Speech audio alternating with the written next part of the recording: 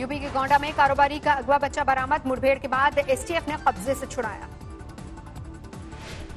Police ने महिला छवि पांडे और पति सूरज पांडे सहित चार लोगों को गिरफ़्तार किया। एसटीएफ को दो लाख के इनाम का ऐलान। गोंडा केस में ऑडियो आया सामने। छवि पांडे ने धमकाते हुए पैसे मांगे और दिया कानपुर वाले कांड का हवाला। फ़ोन पर चार करोड़ रुपए की फिरौती देने की मांग, पुलिस में जाने पर बच्चे की हत्या की धमकी। सुरक्षित कही जाने वाली बांदा जेल की खुली पोल, मोटी चार दीवारी को फांद कर फरार हुए कैदी।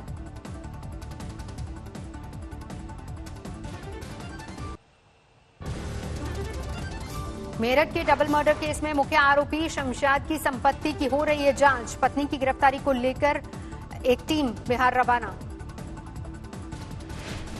एक महिला और इंस्पेक्टर क्राइम के बीच वायरल हुए ऑडियो की हो रही है जाँच। इंस्पेक्टर क्राइम को किया लाइन हाजिर। दिल्ली के वीवीआईपी इलाके लोधी स्टेट में कल रात गोली चलने से हड़कम सीआरपीएफ के एक जवान ने सीआरपीएफ के ही दूसरे जवान को मारी गोली। गोलीकांड में दोनों जवानों की मौत, दोनों के बीच हुई थी कहा सुनी श्रीनगर के रणवीरगढ़ में आतंकियों से सुरक्षा बलों की मुठभेड़, मारे गए दो आतंकी।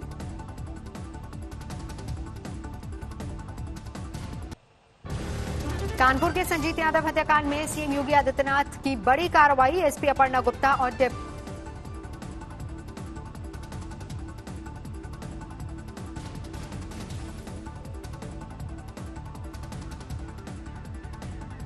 कानपुर के संजीत यादव हत्याकांड में सीएम योगी आदित्यनाथ की बड़ी कार्रवाई। एसपी अपर्णा गुप्ता और डेप्यूटी एसपी समेत चार अफसर सस्पेंड। एडीजी करेंगे संजीत यादव हत्याकांड की जाँच परिवार ने पुलिस पर लगाया है फिरौती के पैसे हजम करने का आरोप। 22 जून को हुआ था संजीत यादव का अपहरण, बहन का आरोप। पुलिस के कहने पर 30 लाख रुपए देने के बाद भी नहीं मिला भाई। अपहरण कांड के दो आरोपियों की गिरफ्तारी से हुआ संजीत की मौत का खुलासा। आरोपियों का दावा गला दबाकर नदी में फेंका। कानपुर कांड पर यूपी में फिर भड़की सियासत। पुलिस ने कानपुर जा रहे प्रदेश कांग्रेस अध्यक्ष अजय सिंह को रोका। कानपुर कांड पर प्रियंका ने योगी सरकार को घेरा। ट्वीट कर कहा, यूपी में दम तोड़ रही है कानून व्यवस्था। संजीत के परिवार को पाँच लाख की मदद देगी समाजवादी पार्टी। अखिलेश यादव ने योगी सरकार पर उठाए सवाल। कानपुर कांड में मायावती ने भी मुख्यमंत्री योगी आदित्यनाथ को घेरा, कहा, यूपी में जंगल राज। मुठभेड़ में मारे गए गैंगस्टर विकास दुबे का एक और ऑडियो सामने आया। फरार होने के दौरान साथियों से फ़ोन पर मांग रहा था मदद। गैंगस्टर के उज्जैन पहुँचने से दो दिन पहले का है ऑडियो। मुंबई एजीएस की गिरफ्त में आए गुड्डन के बारे में बार बार पूछ रहा था विकास। आज अयोध्या जाएँगे मुख्यमंत्री योगी आदित्यनाथ। पाँच अगस्त को राम मंदिर भूमि पूजन की तैयारियों का लेंगे जायजा। अयोध्या में पाँच अगस्त को राम मंदिर का भूमि पूजन रोकने की याचिका हाईकोर्ट से खारिज। कोरोना का हवाला देकर की गई थी मांग। राम मंदिर निर्माण के लिए वीएचपी का बड़ा ऐलान 10 करोड़ हिंदू परिवारों से लेंगे दान। बाबरी विध्वंस मामले में लालकृष्ण आडवाणी की सीबीआई कोर्ट में पेशी, वीडियो कॉन्फ्रेंसिंग के ज़रिए दिए सवालों के जवाब। महाराष्ट्र में बकरीद की गाइडलाइंस पर सियासत तेज, कांग्रेस नेता नसीम खान ने सीएम को लिखी चिट्ठी, कहा, सांकेतिक कुर्बानी को तैयार नहीं। देश में कोरोना का कहर जारी 24 घंटे में बढ़े अड़तालीस से ज़्यादा मामले। देश में 24 घंटे में कोरोना से सात सौ सत्तावन लोगों की गई जान। अब तक इकतीस से ज़्यादा लोगों की जा चुकी है जान। देश में अब तक कुल तेरह लाख छत्तीस हज़ार से ज़्यादा कोरोना के मामले 24 घंटे में कोरोना के बत्तीस हज़ार से ज़्यादा मरीज़ स्वस्थ। देश में करीब साढ़े आठ लाख लोग बीमारी से को दे चुके हैं मात। इस समय चार लाख छप्पन हज़ार लोग एक्टिव। देश में एक दिन में चार लाख बीस हज़ार लोगों का कोरोना टेस्ट स्वास्थ्य विभाग ने दी जानकारी। कर्नाटक के रायचूर में फ्लैश फ्लड की तेज धार में फंसा एक शख्स। रस्सियों के सहारे किया गया रेस्क्यू, लहरों के बीच से सुरक्षित निकाला गया। पाकुड़ में जान जोखिम में डालकर लोग कर रहे हैं दरिया पार। ट्यूब और बाँध की नाव पर बाइक ले जाते नज़र आए लोग। मुजफ्फरपुर में सैलाब का संकट, थर्मोकुल की नाव बनाकर पानी से बचने का जुगाड़। बेगूसराय में जगह जगह लगाए गए सांसद और केंद्रीय मंत्री गिरिराज सिंह की लापता होने के पोस्टर, पता बताने वाले को दस हज़ार रुपए का इनाम।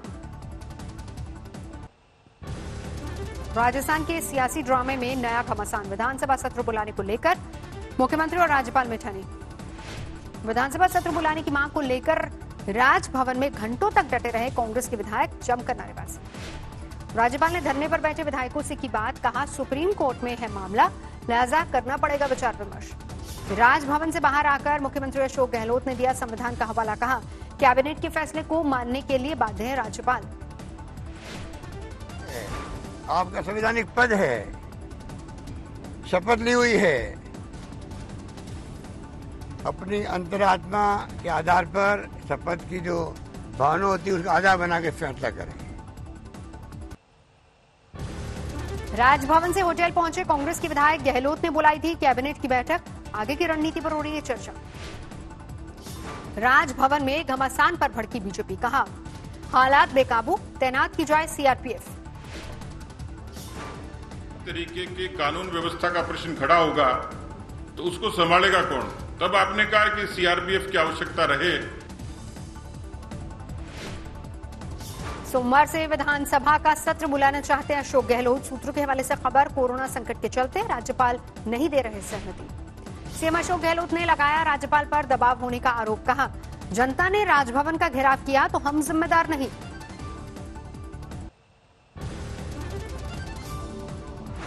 पूरी प्रदेश की जनता अगर राजभवन को घेरने के लिए आ गई तो हमारी ज़िम्मेदारी नहीं होगी। राजस्थान हाईकोर्ट ने पायलट गुट को दी बड़ी राहत। याचिका को माना सही। स्पीकर की कार्रवाई पर लगाया स्टे। पायलट खेमे की याचिका पर आगे भी जारी रहेगी सुनवाई। हाईकोर्ट ने केंद्र सरकार को पक्षकार बनाने पर दी मंजूरी।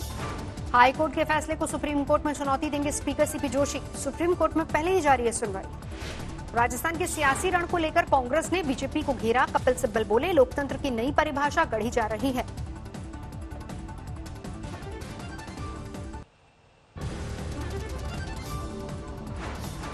दिल्ली में पब में चल रही हुक्का पार्टी पर पुलिस का छापा, तेईस लड़के लड़कियों को गिरफ़्तार किया गया। बाराबंकी में संदिग्ध हालत में पति पत्नी की मौत, पुलिस को कर्ज की वजह से जान देने का शक। बाराबंकी में जमीनी विवाद में सगे भाइयों में खूनी संघर्ष। छोटे भाई ने बड़े भाई को पीट पीट कर उतारा मौत के घर। हमीरपुर में चौदह साल के छात्र ने फांसी लगाकर दी जान। ऑनलाइन खेले जाने वाले मोबाइल गेम में हारकर मौत को लगाया गले। जालौन में 30 साल के किसान ने फांसी पर लटक कर दी जान। आर्थिक तंगी की वजह से खुदकुशी। हरदोई में प्रेमी जोड़े ने एक ही दुपट्टे में लिपट कर लगाई फांसी। शादी का विरोध करने पर लिया फैसला। दिल्ली के छतरपुर क्वारंटीन सेंटर में नाबालिग मरीज़ से रेप की वारदात, दोनों आरोपी भी संक्रमित। अमृतसर के होटल में विदेशी लड़कियों के साथ धरे गए नौ युवक। मसाज सेंटर में रेड के दौरान गिरफ्तारी। जीन में दिल दहला देने वाली वारदात। पाँच बेटियों की हत्या के आरोप में एक शख्स गिरफ़्तार। सोनीपत में तेल मिल में लगी आग, आसमान में दिखा धुएँ का गुब्बार।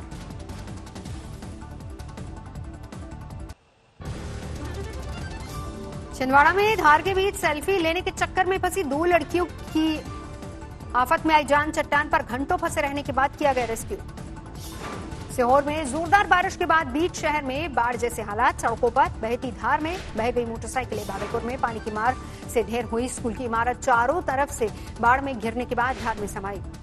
बिहार के मोतिहारी में गंडक के उफान से तटबंध धराशायी, गाँवों में घुसा सैलाब। सीतामढ़ी में नेपाल बॉर्डर पर टूट गया बाँध दर्जनों पंचायतों में भरा पानी। समस्तीपुर में रेलपुर के ऊपर पहुँचा बागमती नदी का पानी, ट्रेनों को किया गया डायवर्ट दरभंगा में बाढ़ से बेहाल हुए सैकड़ों परिवार, रेल लाइन के किनारे बनाया शियाना। बाढ़ ने बिगाड़ी पूर्वी चंपारण की सूरत, प्रभावित इलाकों में रेस्क्यू ऑपरेशन चला रही एनडीआरएफ की टीम। जोरदार बारिश ने बिहार की राजधानी को किया बेहाल, दानापुर के पौष इलाके में घुटनों तक भरा पानी। बिहार के गोपालगंज में बाँध टूटने से आफत, हाईवे पर उतरा समंदर।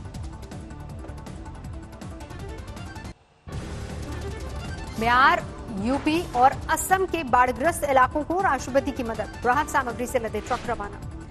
असम में बाढ़ से अब तक पिचानवे लोगों की मौत 28 जिलों में 10 लाख से ज़्यादा परिवार प्रभावित। असम के नगांव में भारी बारिश के चलते खोले गए कार्बी बाँध के गेट, जलमग्न हुए सैकड़ों गाँव। बाढ़ में डूबा काजीरंगा नेशनल पार्क, जानवरों को सुरक्षित जगहों पर पहुँचाने में जुटा पाक प्रशासन। असम के सोनतपुर में भी हालात गंभीर। बाढ़ में गुम हो चुकी हैं सड़कें और पुल। कोरोना काल में आर्थिक विकास का लक्ष्य हासिल करने में असफल रह सकती सरकार, महामारी ने बिगाड़ी आर्थिक अनुमानों का गणित। आरबीआई ने ऑटो लोन में गड़बड़ी के मामले में एचडीएफसी बैंक से मांगी जानकारी, कहा, इंटरनल जाँच की पूरी जानकारी मुहैया कराई। मैन्युफैक्चरिंग को बढ़ावा देने के लिए सरकार ने तैयार की नई योजना पाँच सेक्टर्स के उत्पादन को बढ़ावा देने पर कर रहे काम।